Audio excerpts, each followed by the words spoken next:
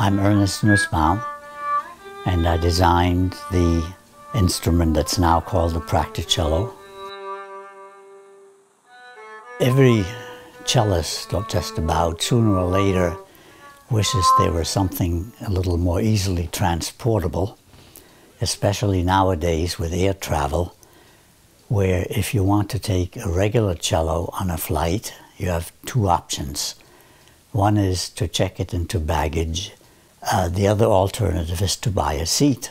So uh, the idea is to have a practice instrument which is carry-on luggage and fits into an overhead compartment.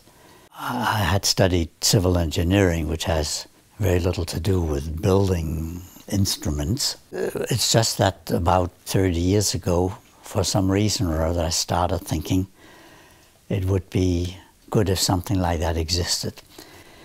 Uh, so I made several prototypes, eventually came up with the instrument, which has changed very little. It still looks pretty much uh, like it did 30 years ago, just some slight modifications. I took the, my regular cello, laid it on a piece of packing paper, and you may have noticed that the only place a cello touches you when you're playing it is small part touches you on the chest, and there's a part that touches the knees. And then I've figured out ways of making those detachable and reattachable. And uh, after a while, it more or less came together. even though there is not much of a body, it vibrates enough to have a, quite a difference on the sound.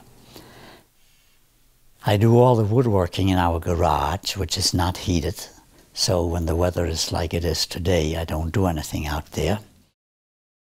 My mother was a violinist. My father had been a conductor many years ago and was a very good pianist. So I grew up hearing a lot of chamber music uh, we were living in Germany at the time, but left in 39, just in time before the war started. One day, uh, must have been 24, 25, I thought that if I was ever going to learn the cello, I shouldn't wait any longer. I never intended to uh, become a great musician. All I really wanted was to be able to play chamber music, string quartets, that sort of thing. And after a few years, I was able to start doing that.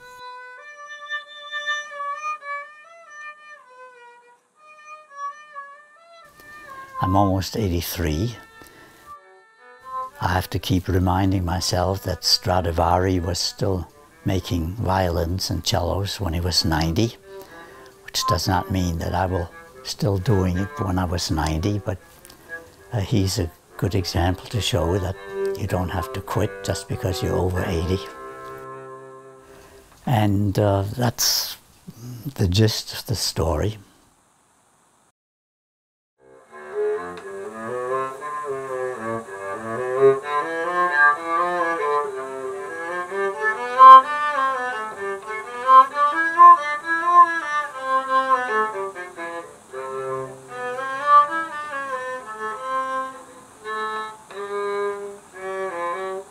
much as I remember of that.